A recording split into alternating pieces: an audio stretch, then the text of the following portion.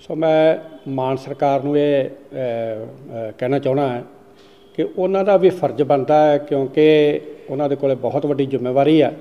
ਉਹ ਵੀ ਗੁਰੂ ਤੇਗ ਬਹਾਦਰ ਪਾਤਸ਼ਾਹ ਜਿਨ੍ਹਾਂ ਨੇ ਹਿੰਦੂ ਧਰਮ ਦੀ ਰੱਖਿਆ ਵਾਸਤੇ ਦਿੱਲੀ ਵਿੱਚ ਜਾ ਕੇ ਸ਼ਹਾਦਤ ਪ੍ਰਾਪਤ ਕੀਤੀ ਸੀ, ਤਿਲਕ ਜੰਨੂ ਰਾਖਾ ਪ੍ਰਭਤਾਕਾ ਕਿਨੋ ਬੜੋ ਕਲੂ ਮੈਂ ਸਾਕਾ। ਔਰ ਪੰਜਾਬ ਸਰਕਾਰ ਨੂੰ ਮੈਂ ਅਪੀਲ ਕਰਨੀ ਚਾਹੁੰਦਾ ਕਿ ਉਹ ਵੀ ਗੁਰੂ ਤੇਗ ਬਹਾਦਰ ਪਾਤਸ਼ਾਹ ਜੀ ਦਾ ਜਿਹੜਾ ਇਹ ਸ਼ਤਾਬਦੀ ਹੈ, ਉਹਨੂੰ ਵੱਡੇ ਪੱਧਰ ਤੇ ਮਨਾਉਣ। ਦੂਸਰਾ ਜਿਹੜਾ ਦਿੱਲੀ ਸਰਕਾਰ ਨੇ, ਮੋਦੀ ਸਰਕਾਰ ਨੇ ਦਿੱਲੀ ਦੇ ਲਾਲ ਕਿਲੇ ਦੇ ਉੱਤੇ ਇਹ ਗੁਰੂ ਤੇਗ ਬਹਾਦਰ ਸਾਹਿਬ ਜੀ ਦਾ ਸ਼ਤਾਬਦੀ ਸਮਾਗਮ ਮਨਾਇਆ ਦੋ ਦਿਨਾਂ। ਮੈਂ ਉਹਨਾਂ ਦੀ ਸ਼ਲਾਘਾ ਕਰਨੀ ਚਾਹੁੰਦਾ, ਨਾਲ ਦਿੱਲੀ ਗੁਰਦੁਆਰਾ ਪ੍ਰਬੰਧਕ ਕਮੇਟੀ। ਉਹਨਾਂ ਦੇ ਸਾਥ ਦੇ ਕੇ। ਔਰ ਉਹੋ ਹੀ ਲਾਲ ਕਿਲਾ ਹੈ ਜਿਹੜਾ ਗੁਰੂ ਤੇਗ ਬਹਾਦਰ ਪਾਤਸ਼ਾਹ ਜੀ ਨੂੰ ਸ਼ਹੀਦ ਕਰਨ ਦਾ ਉੱਥੋਂ ਹੁਕਮ ਦਿੰਦਾ ਸੀ।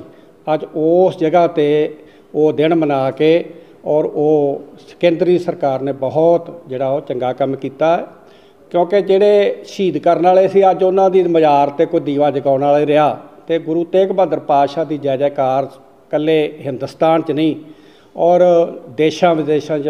ਕੈਨੇਡਾ, ਅਮਰੀਕਾ, ਆਸਟ੍ਰੇਲੀਆ ਜਿੰਨੇ ਵੀ ਦੇਸ਼ ਹੈ, ਸਾਰੇ ਥਾਵਾਂ ਤੇ ਜਿੱਥੇ ਵੀ ਗੁਰੂ ਨਾਨਕ ਨਾਮ ਲੈਦਾ ਸਿੱਖ ਬੈਠਾ ਉੱਥੇ ਹੀ ਉਹਨਾਂ ਦਾ ਸ਼ਹੀਦੀ ਦਿਨ ਜਿਹੜਾ ਮਨਾਇਆ ਜਾ ਰਿਹਾ, ਔਰ ਇਸੇ ਤਰ੍ਹਾਂ ਹੀ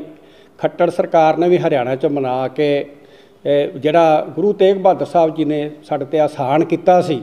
ਉਹਨਾਂ ਨੇ ਉਹ ਆਸਾਨ ਦਾ ਜਿਹੜਾ ਹੈ, ਉਹ ਬਦਲਾ ਚੁਕਾਇਆ ਹੈ ਔਰ ਉਹਨਾਂ ਨੇ ਬਹੁਤ ਚੰਗਾ ਕੰਮ ਕੀਤਾ, ਬੜਾ ਸ਼ਲਾਘਾਯੋਗ ਕੀਤਾ ਔਰ ਪੰਜਾਬ ਸਰਕਾਰ ਨੂੰ ਵੀ ਜਿਹੜਾ ਹੈ ਇਹ ਕਰਨਾ ਚਾਹੀਦਾ ਤੇ ਕੇਂਦਰ ਸਰਕਾਰ ਨੂੰ ਵੀ ਇੱਕ ਬੇਨਤੀ ਕਰਨੀ ਚਾਹਣਾ ਹੈ ਕਿ ਇੱਕ ਤਾਂ ਉਹ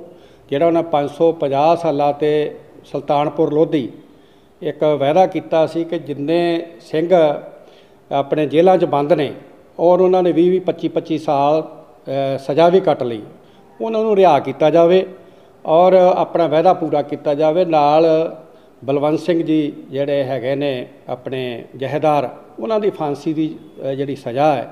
ਉਹ ਵੀ ਖਤਮ ਕਰਕੇ ਤੇ ਉਹਨਾਂ ਨੂੰ ਵੀ ਜਲਦ ਜਿਹੜਾ ਉਹ ਰਿਹਾ ਕਰਨਾ ਚਾਹੀਦਾ ਹੈ। ਮੈਂ ਇਹ ਸੈਂਟਰ ਸਰਕਾਰ ਨੂੰ ਉਹਨਾਂ ਦਾ ਕੀਤਾ ਹੋਇਆ ਵਾਅਦਾ ਜਿਹੜਾ ਹੈ, ਉਹ ਯਾਦ ਕਰਾਉਣਾ ਚਾਹੁੰਦਾ।